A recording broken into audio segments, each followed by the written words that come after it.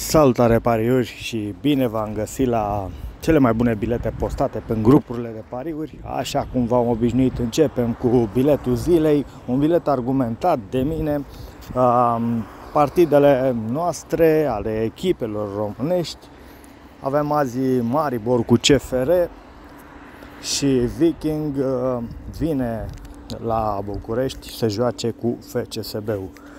Interesant este că Maribor în acest uh, început uh, de campionat stă foarte prost, pe ultima poziție la ei în campionat, dar în ultimele 5 meciuri, un aspect foarte important, a încasat uh, o medie de cel puțin 3 cartonașe galbene pe meci. De partea cealaltă, CFR-ul încasează o medie de doar un cartonaș galben în în uh, ultimele 5 partide jucate, iar arbitru de centru este cehul Pavel Orel cu o medie de 4,48 cartonașe galbene și 0,18 uh, cartonașe roșii acordate la fiecare 90 de minute. Așadar, uh, pronosticul meu este clar.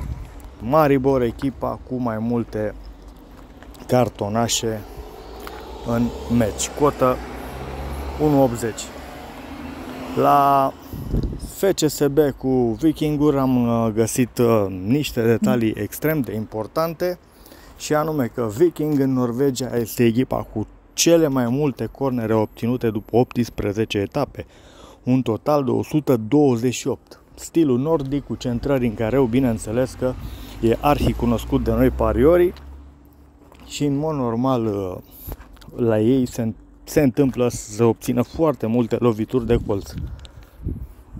Drept urmare, media lui Viking în campionat este cea mai mare, fiind lider la capitolul corner, obținute 7,11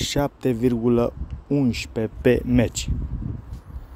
Viking cu siguranță își va face joc cu ei cu centrări lungi în careu și cred eu că avem o cotă foarte, foarte bună de 1,72 la Betano pentru minim 4 cornere obținute de Viking. Mai departe, Gheorghe Ilie ne oferă două bilete la Superbet, codurile le aveți afișate în laterale, codul control dacă vă ajută cu ceva 6810 la 1 și 9855 la celălalt.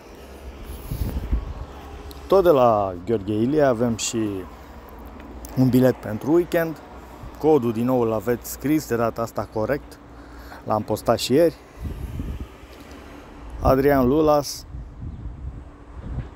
Bilete foarte, foarte interesante. Știți, creează unul lung și de acolo îl rupe în 3, 4, 5. Este unul din cei mai experimentați pariori din, uh, din România și, bineînțeles, care câștigă uh, cel mai des.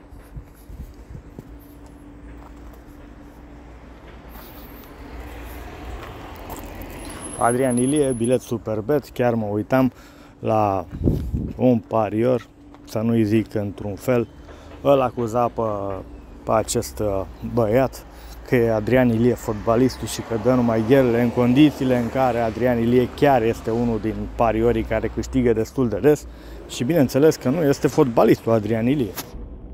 Așa că cei care îl cunoașteți, vă rog lăsați în comentarii uh, care ați câștigat uh, copiind biletele sale. Bun, Neluță Modrojean, bilet pentru weekend, îl puteți scana codul. Din nou Neluță Modrojean, un alt bilet, cotă 474.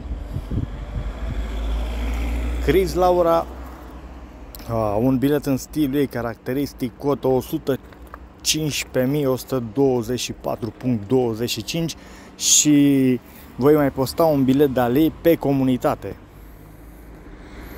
Dacă doriți să vedeți partidele, vi le-am uh, scanat, ca să zic așa.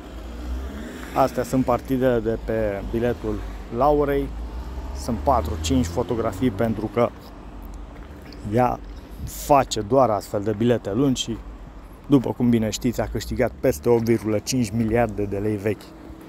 Cei care doriți să-i ascultați povestea, găsiți în interviu la podcasturi Cris Laura Pentru cei care sunteți afară, puteți vedea pronosticurile și, bineînțeles, să le copiați, să le jucați peste tot în lume.